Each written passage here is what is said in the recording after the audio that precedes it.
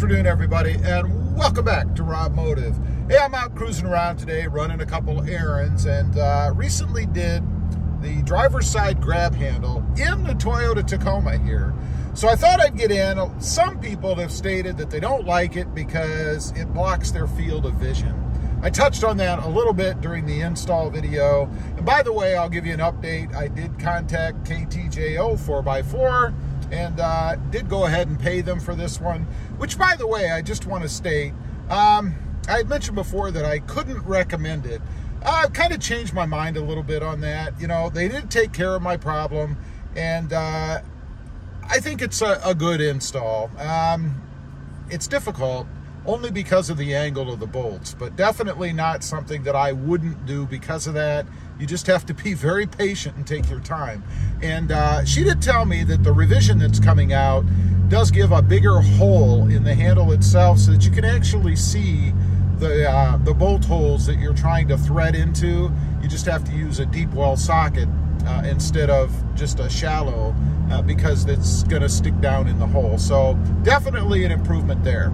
Anyway, that's not really the topic of the video. There is one other thing I want to mention. You know, I am back from Ohio. Fortunately, I'm so glad to be back. Uh, and I thought I'd show you guys real quick here what it is that I was traveling in in going back and forth from Ohio the uh, behemoth that uh, that I actually did drive. So here's a couple pictures of the motorhome uh, that we made the trip in.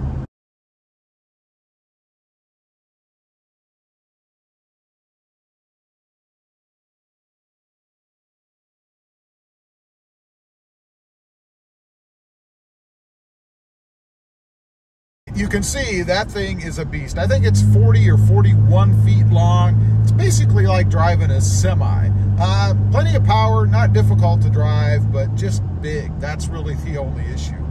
So let's get to the video at hand. I'm going to turn you around, let you see what it looks like while I'm driving down the road at eye level uh, with the driver's side grab handle. So let's take a look. You can see I'm holding this right above my eyes. I do still need to be able to see the road. Uh, but you guys can see what I'm seeing. Over here on the left, it does stick out just a hair beyond the A-pillar. You can see there, but definitely not enough that it's, you know, really overly obstructing the view. I mean, I've got other things in my truck, like the door handles there and things. They probably obstruct the view, or not the door handles, but the phone holders they probably obstruct the view more than this grab handle does for sure. Now, here's a good test. We're going around a curve. You can see a, a truck coming, and there you go. I had no problem seeing uh, around the grab handle to see that truck. Again, it just barely, barely from my seating position sticks out a little bit. Uh, nothing that, uh, again, is a problem for me. Now, I've had it in here for a little while. Honestly, it's only been about a day or so, so it's not like uh, I've had it in the truck for weeks. But so far, no issues with it. I had mentioned in the install video something about the covers. I did speak to uh, KTJO about that. It seems to me that the little prongs that kind of snap in there are a little bit weak. They could be a little bit stronger, and that might be why there's issue with some people of those covers falling out. And I'm talking about these covers here, one up above and one down below. Um, she had mentioned to me that she installed it on her truck, hasn't had any issues. You want to listen for the snap, I guess, when you put it in. And I understand what she's saying. She said that some people will actually push it in on top of the little arms that snap as opposed to them being in the holes. I can see how that would happen as well. It happened to me when I installed the first one. Not enough that I permanently damaged it. I noticed it, so I kind of bent it back. They're very flexible. And then inserted it right into the hole it's supposed to go to in the handle itself. So if you're doing this mod, just make sure that you're aware of that. You can actually see where those little arms are going in. Make sure you don't go ahead and try to push it on there uh, and bend those little arms. It won't fit anyway. It'll just fall out if you do that. Um, we shall see. So far, as I mentioned, it's been good for me, but it's only been about a day anyway, so not a fair test yet. I'm hoping that they'll stay in there, no issues, no problem. Now, the benefit from this, I didn't really cover that in the last video because it was really more focused on actually installing the handle here itself.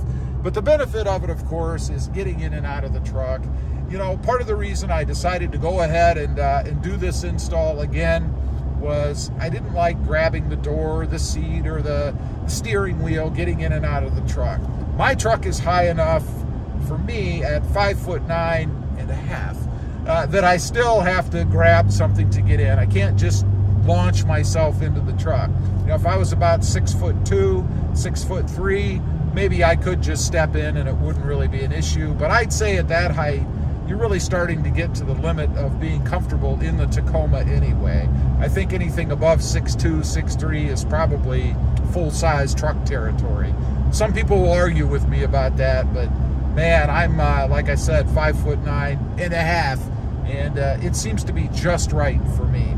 So, like having it on there for that reason, just so I don't have to put a bunch of wear and tear on the steering wheel or push down on the door or anything like that.